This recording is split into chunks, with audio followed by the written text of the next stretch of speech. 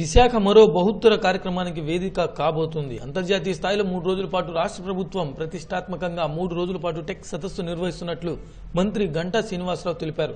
విశాఖలో ప్రభుత్వ అతిథి గృహంలో సదస్సుకు సంబంధించిన జిల్లా అధికారులతో సమావేశమైన మంత్రి గంట సంబంధించిన ఏర్పాట్లపై అధికారులతో చర్చించారు.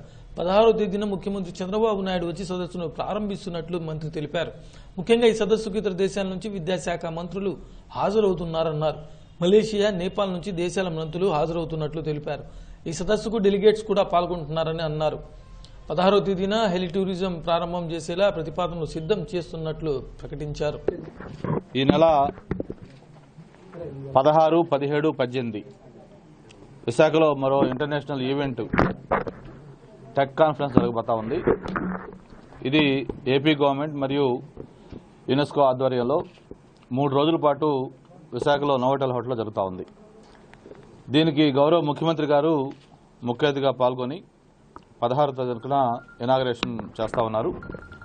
ముఖ్యమంత్రి గారితో పాటు ఒక ముగ్గురు వివిధ దేశాలకు సంబంధించిన విద్యాశాఖ మంత్రులు మలేషియా అలాగే నేపాల్ యుఏఈ ఈ మూడు దేశాల నుంచి విద్యాశాఖ మంత్రులు కూడా ఈ టెక్ కాన్ఫరెన్స్లో పాల్గొంటా ఉన్నారు.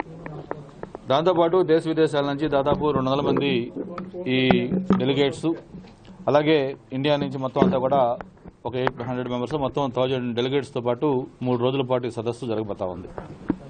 ఎయిటీన్త్ క్లోజింగ్ ఫంక్షన్కి కేంద్ర సహాయ మంత్రి సుజనా చౌదరి గారు ముఖ్య అతిథిగా దీంట్లో పాల్గొంటా ఉన్నారు.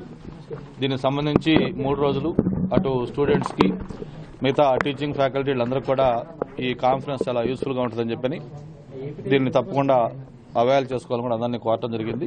ఆయన ఒక డీటెయిల్డ్ ఇన్ డెప్త్ రివ్యూ చేయాలనే ఉద్దేశంతో రేపు ఇరవై మూడు మధ్యాహ్నం టూ ఓ క్లాక్కి ఇంపార్టెంట్ సబ్జెక్ట్స్ ఈరోజు ఏదైతే హౌసింగ్ అలాగే మిగతా ఈ డెవలప్మెంట్ వర్క్స్ ఈ వెల్ఫేర్ స్కీమ్స్ వీటిలన్నిటికి సంబంధించిన ఇష్యూస్ మీద కూడా అజెండా తయారు చేయమని కలెక్టర్ గారు చెప్పడం జరిగింది.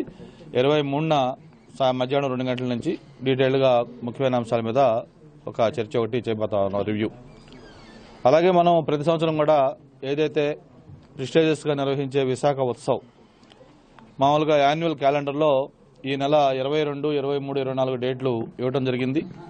అయితే ఈ మధ్య వరుసగా ఈ నెలలో event of series of events మొత్తం జరగటం మొన్నే అగ్రిటెక్ చేసుకున్నాం. రేపు సిక్స్టీన్ సెవెంటీన్ ఎయిటీన్ మళ్ళీ ఈ టెక్ కాన్ఫరెన్స్ ఉంటుంది ముఖ్యమంత్రి గారు పార్టిసిపేట్ చేసే కాన్ఫరెన్స్. ఇమీడియట్గా త్రీ ఫోర్ డేస్లో అంటే ఆఫీసర్స్ అందరూ కూడా బాగున్నాం. అది కన్సర్న్డ్ మన మినిస్టర్ గారికి అలాగే సెక్రటరీ గారికి అందరూ కూడా చెప్పి ఎవరైతే ఈవెంట్ మేనేజర్ ఉన్నారో వాళ్ళని కూడా కోరాం. యాక్చువల్గా అయితే twenty nine thirty thirty first మూడు రోజులు చేద్దాం. Thirty first December thirty first కాబట్టి ఈ రన్నింగ్ బాగుంటుందని చెప్పి సండే అనుకున్నాం. అయితే ఆర్గనైజర్స్కి ఏ అయితే ఆ ప్రోగ్రామ్స్ ప్లాన్ చేసుకున్నారో థర్టీ ఫస్ట్న కుదరట్లేదు కాబట్టి twenty eighth twenty nine thirty eighth చేయాలని ఒక స్థలం కూడా అనుకున్నాం. దాన్ని కూడా కన్ఫర్మ్ చేయబోతా ఉన్నాం. పదహారున వీలైతే ముఖ్యమంత్రి గారి చేతుల మీదుగా ఆ హెలి టూరిజం స్టార్ట్ చేయాలని అదొకటి ఫైనలైజ్ చేశాం.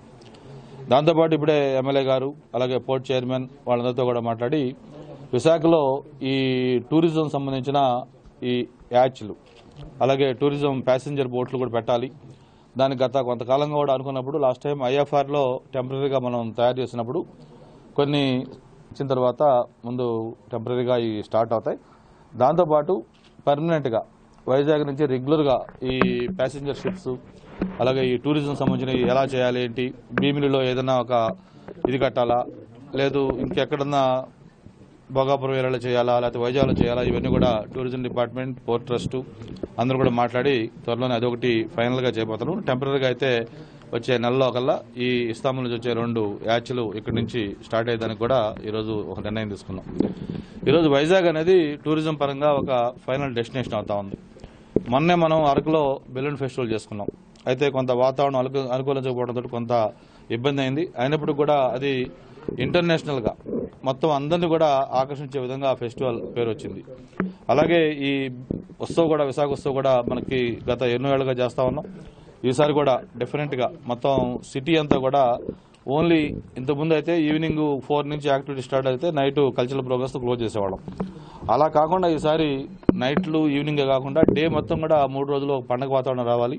అందుకే అన్ని రెస్టారెంట్స్ తర్వాత హోటల్స్ ఇక్కడ షాప్స్ అండ్ రెస్టారెంట్స్ మాట్లాడి ఆ మూడు రోజుల పాటు స్పెషల్ టారిఫ్లు మొత్తం వాళ్ళకి రూమ్స్లో కానీ లేకపోతే పర్చేజ్లో కానీ ఇవ్వాలని చెప్పి అట్లాగే వాటిలో లక్కీ డిప్పులు పెట్టి ఎవరు బెస్ట్ డెకరేషన్ చేసుకుంటారు ఆ షాప్ కానీ లేకపోతే ఇవన్నీ కూడా కాంపిటీషన్స్ పెట్టి వాళ్ళ కొన్ని ప్రైజ్లు కూడా ఈ యాక్టివిటీస్ పెడతారు ఈ కాంపిటీషన్స్ పెడతారు అలాగే కల్చరల్ ప్రోగ్రామ్స్ ఎక్కడ ఇవన్నీ కూడా డీటెయిల్డ్గా మీకు మళ్ళీ తెలియజేస్తాం.